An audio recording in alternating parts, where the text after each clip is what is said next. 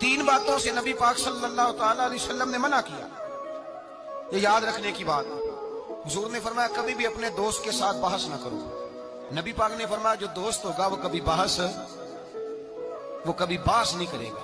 वो दोस्त दोस्त के साथ बहस ना करे, हुजूर ने हुक्म दिया।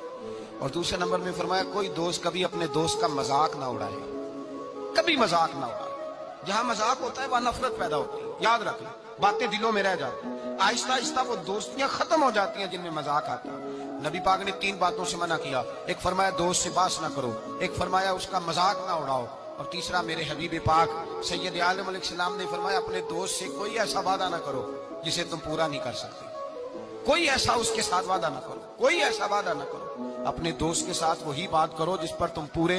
तो भाई, दोस्ती में ऐसा कभी ना करें। इखलास